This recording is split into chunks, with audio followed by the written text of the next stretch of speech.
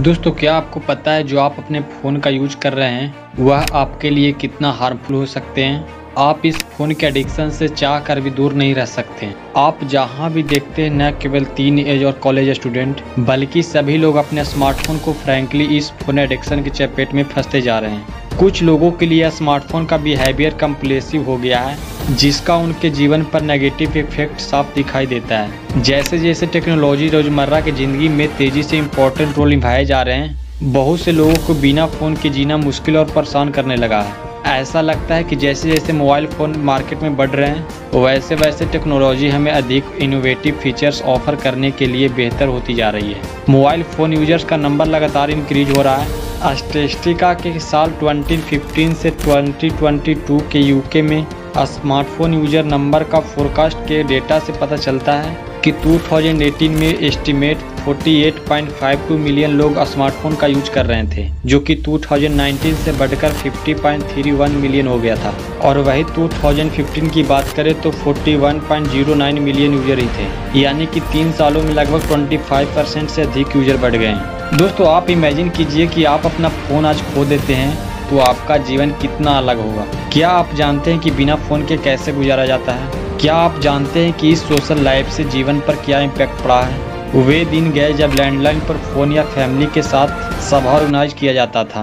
आजकल अपने फ्रेंड और फैमिली को देखने का प्लान काफ़ी हद तक टेक्नोलॉजी के माध्यम से किया जाता है। चाहे वह टेक्स्ट मैसेजिंग हो व्हाट्सअप फेसबुक मैसेंजर कॉल या यहाँ तक कि आपके डिवाइस पर ईमेल के माध्यम से होने लग रहे हैं। दोस्तों, अगर आप अपना स्मार्टफ़ोन का यूज़ करना बंद कर देते हैं तो आपके ब्रेन और बॉडी के साथ क्या हो सकते हैं? दोस्तों, हम अपने फ़ोन में एक दिन में औसतन 2617 बार टच करते हैं। आपके एडिक्शन को इग्नोर किया जा सकता है या एक्सेप्ट किया जा सकता है। लेकिन यह डिवाइस हमारे जीवन में जो रोल प्ले करता है, वह बहुत बड़ी है। फिर भी दोस्तों, यह सोचना इंटरेस्टिंग होगा कि अगर हम इसके बिना एक दिन जागते तो कैसा होता?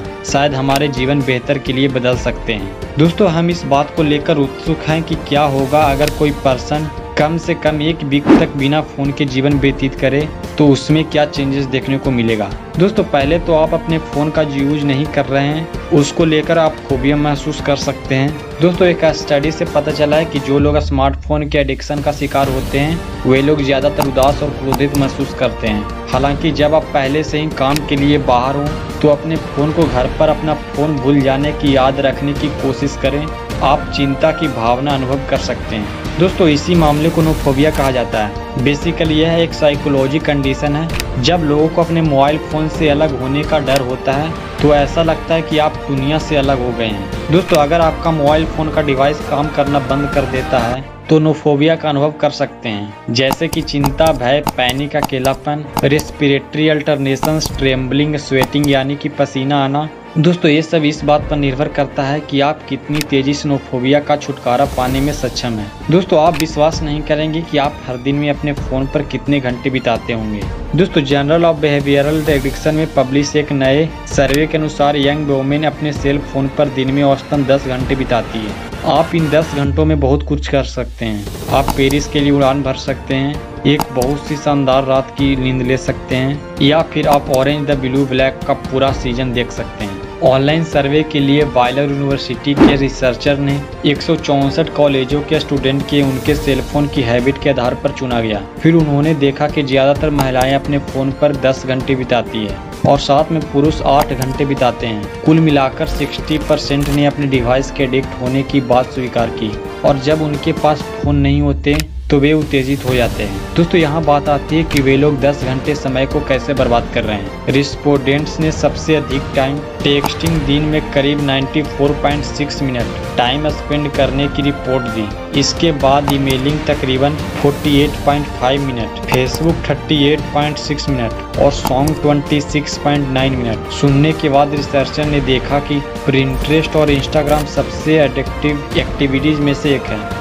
दोस्तों साइकोलॉजी प्रोफेसर डिस्ट्रैक्टेड माइंड के ऑथर लैरी रोशन ने सीएनबीसी को बताया कि ज़्यादातर लोग हर 15 मिनट या उससे कम समय में अपने फ़ोन को चेक करते हैं। भले ही उनके पास कोई अलर्ट या नोटिफिकेशन नहीं आया हो, वो तब भी अपने फ़ोन को चेक करते हैं। लैरी रोशन के आगे रिसर्च से पता चला कि बढ़ती चिंता के अलावा नोटिफिकेशंस और फ़ीड चेक करने की कंप्लेसिव लोगों को ध्यान केंद्रित करने की एबिलिटी को इंटरफ्रेंस करती है। दोस्तों, क्या आप जानते हैं कि ये जो हमारे फ़ोन में टाइम वेस्टिंग के अलावा भी साइकोलॉजी परेशानी भी है, जो आपके फ़ोन पर बहुत अधिक समय बिताने से आती है? दोस्तों, कई सारी स्टडी से पता चला है कि सोशल मीडिया आपके मेंटल हेल्थ के लिए खराब हो सकते हैं। और फेसबुक ने हाल में ही इस बात को लेकर एक्सेप्ट भी किया था कि इसके सोशल नेटवर्क का पैसिव यूज़ लोगों को नेगेटिव मूड में छोड़ सकता है। रिसर्चर्स अभी भी पता लगाने की कोशिश कर रहे हैं कि हमारे डिवाइस में इतना टाइम और एनर्जी लगाने में कौन से लॉन्ग टर्म इफ़ेक्ट पड़ रहे हैं। दोस्तों डॉक्टर कैफर का कहना है कि हमारे जीवन में लोगों के साथ रियल कन्वर्सेशन के साथ हमें लेस पेशेंट बना सकता है।